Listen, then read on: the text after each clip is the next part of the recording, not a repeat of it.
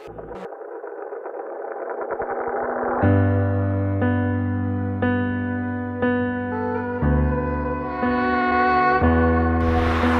Jono and I have some experience in the fields where environmental issues informed the work that we did. Jono worked more with vegetarian food and myself in permaculture and raising awareness around climate change.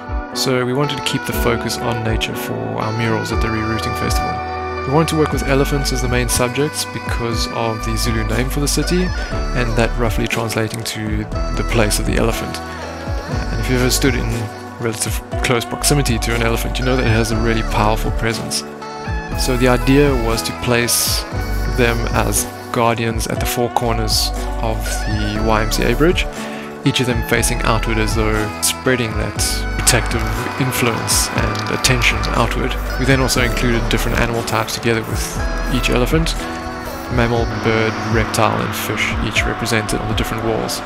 What was particularly nice with this project was having much more freedom with the design and being able to paint what we wanted to rather than what a client specifically needs or wants. So there was a lot more creative freedom which was refreshing to have. Normally we'd be spending quite a bit of time before painting even begins just going back and forth with design ideas and refining things. We pretty much only got to playing with designs once I arrived in Maritzburg a couple of days before the festival. I finally had a chance to see the wall, stand in front of it and start thinking that really forced me to make decisions quicker, having that limited time, uh, rather than just getting stuck going around in my head with indecisiveness about how I want to approach the design and what I wanted to add in.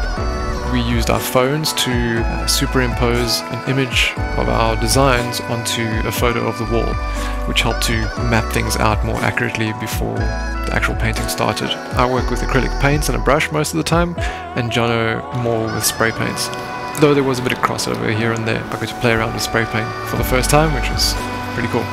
The main thing I'd like from these murals is for people to remember that they share the environment with these really powerful animals, not just elephants, but a whole range of species that all play important roles. More fragile species, you know, which is where the birds, the mammal, the reptile, the fish that are represented in the different murals, the elephants are kind of guarding. Often in conservation marketing, you know, it's always the high profile animals that get their attention, but all those smaller, fragile species play incredibly important roles in the health of the ecosystem as a whole as well, and they also need protection. Uh, and our attention.